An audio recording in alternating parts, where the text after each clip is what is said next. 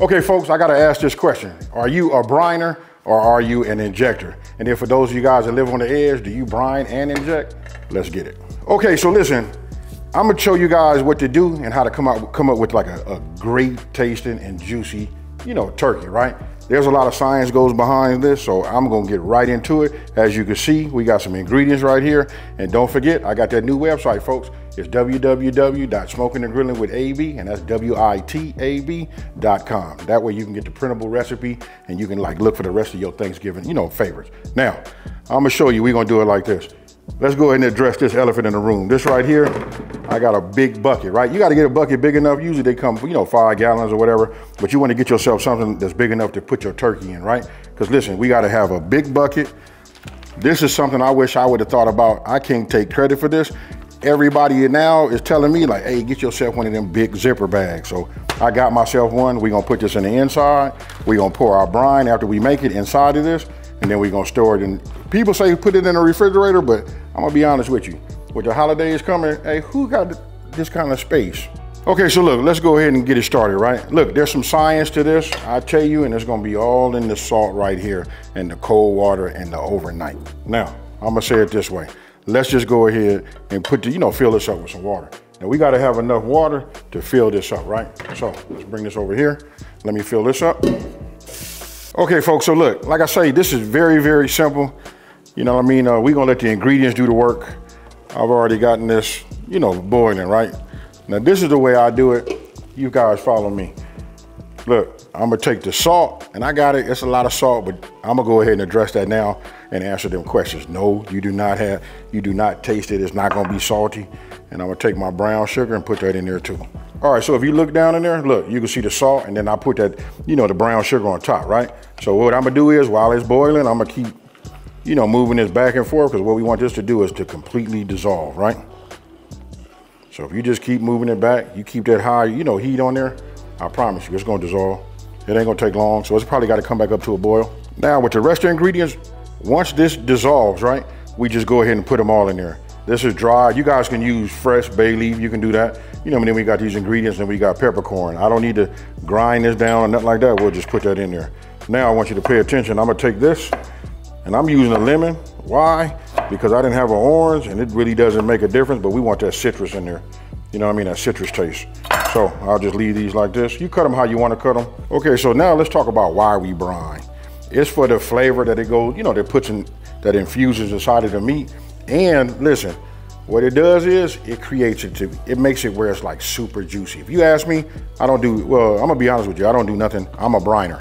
You know what I mean? Every now and then I'll brine and inject, you know what I mean? If I was trying to achieve a certain type of uh, flavor, you know what I mean? But if we just talking about just you know, getting down, family involved, all of that, this right here do it. And then when you cut that breast, I promise you it's gonna be right. Now, when I do this turkey, listen, I'm gonna smoke it. Just wanna let you guys know. But this is gonna be key. Gotta get yourself one of these large bags and you gotta have something big enough. It's the whole process of keeping it cool, right? So the way I'm told is when you put this together, and you wanna have this cool too. I gotta say that. Listen, because if you pour that and put that turkey in this hot right here, actually it'll start cooking. We want this to be room temperature or cold. I got enough bags of ice to make this cool once we do it. But what it does is it draws some of the moisture out and then after a while it goes back into the meat. You guys gotta trust me. I, hey, I live by it and that's, uh, that's the truth. Them facts, folks. So everything has been dissolved. I'm gonna go ahead and drop my bay leaves in, my dry ingredients, and then I'm gonna go ahead and then add my herbs like this, right? You guys, man, it don't make no difference. You can tie them if you want to do that. I even got our apparatus that you put these in the inside. It's got holes in there so you can keep up with it. But this is what we want to do. We want to get this flavor infused with, you know, our brine. Now we'll add our lemon, you know, slices, right? Again, don't forget, you can use orange also. More than likely, that's what I would have used, but I had a lemon in there screaming. I heard something knocking in the refrigerator, and when I opened it up, it was this lemon like, hey, hurry up and use me. All right, now that we got a boil, everything is in there. Hmm, that, hey, you guys gotta, man, this might be something that's like just open up. If you got any sinus whatever, this might just, this work. Maybe I need to bottle this up and sell it. All right, so listen, put the lid on the top. I'm gonna adjust it down to about a, a medium high and I'm gonna let it cook for about 20 minutes. Okay, so look, it's been 20 minutes. I've just turned this off. We'll let the heat continue to do whatever it's gonna do. But 20 minutes on a boil, trust me, it done had everything that came out and now we got ourselves a brownie, right? So now we're gonna take our, you know, Ziploc bag, excuse me, our zipper bag. You wanna open this up. Now, this is not the norm, right? This will do this five gallon bucket. You guys can look at my description box and on my website if you wanna know where to get these from. And I suggest, and I promise you, once you brine, you never go back, folks. I don't. So what I'm doing is, and listen, it, it'll help you because you only need to buy this one time. You're protecting the bucket, you're not contaminating it, and everything is, you know, inside of a bag. Now, I'm gonna leave this top off of here because we want this to cool. Listen to me, folks, we want this to cool. We want it to be room temperature. Or if we got enough ice, we can go ahead and just shock it and get it down to like a cool temperature. We don't want to put the bird in that right there because when you do, what you're doing is you're starting the cooking process and that's what we don't want to do. We need this to be really like on the cold side. Room temperature does work, right? So let this cool. I'm gonna go ahead and expedite it just for the camera, you know, sake. Put some ice in here, you know what I mean? And uh, then we move over to the next step. Okay, folks, I just temped this. Listen, this is right here is right. It's actually a little bit on the cold side, right? So I use my little bag. I got a couple of extra bags. You know, I mean, I don't know how big your your freezer is, if it's making enough, but you just, or you can just wait. You don't even have to do that. You can just let this come down naturally, right? Now let's just talk about the bird. I like my birds to be 12 to 14 pounds. This right here is right in the middle. This is 13, right? So I'm gonna take this. I've already taken out everything in the inside, the neck, the little giblets and liver and whatever that is in there. And then they got that little secret bag and all of that. I take all of that out. I save it for a later date, put it in a, a Ziploc bag and freeze it. You know why? Because when I need turkey stock, along with the rest of everything that else I have, I put that in there and that'll give it to me. Now, I'm gonna take this, because this is my guy. He don't have to be padded dry or nothing like that. Don't worry about none of this extra skin, because I'm gonna take that and do my trim tomorrow.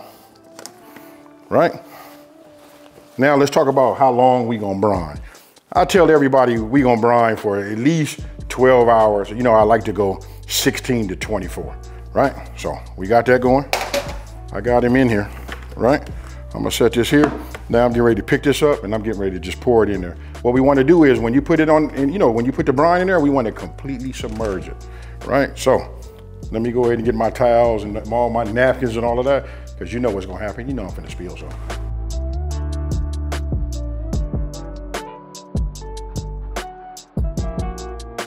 All right, so once you get it in the brine, right, you got it completely submerged. I add ice on there because you want to keep this cool. Like some people will tell you you want to put it in the refrigerator, but I told you earlier, like how you gonna put that in the refrigerator? We really don't have that. And then some of us have like a refrigerator outside, you know what I mean, like in the garage or whatever. I mean, that'll work if it's not if it's not filled. But for me, I do it like this, right? Then I put my top on it. Now you put this somewhere, you know, like cool in your garage, and you got no problems. Okay, to just give you a recap, listen, you saw the ingredients, and don't forget it's on my website. You guys can print it, you know, and just follow the instructions the way I did it. And you got the video to play along with it also, right? I want to call this like part one, you know what I mean? Uh, but truly, this is just a brine. And actually, in actuality, this brine right here works just not only for turkey, any type of file that you, you know, you use. So of course you can do it with the chicken also. So listen, I'm getting ready to take this, go out in my garage, put that up in the corner right there. I already got the lid on it, so I don't have to worry about no contaminations. We finna go 24 hours, and guess what, folks? Then we finna smoke. Now, some of us that are lucky, they can, you know, be on the I guess from west of Texas, you know I mean? It's still getting cold, but some of us, we don't have to deal with snow, so we got a chance to like smoke them, right? So the next video you see, that'll be the turkey. I haven't decided what type of herbs, or I mean, what type of season I'm gonna put on it, but whatever I do, it's gonna be fire, folks. So check this out. If you've been following me for a minute, you know how I end all of my videos. You know what I'm about to do? I'm about to go put this in the garage. So guess what, folks? I'm out. Peace.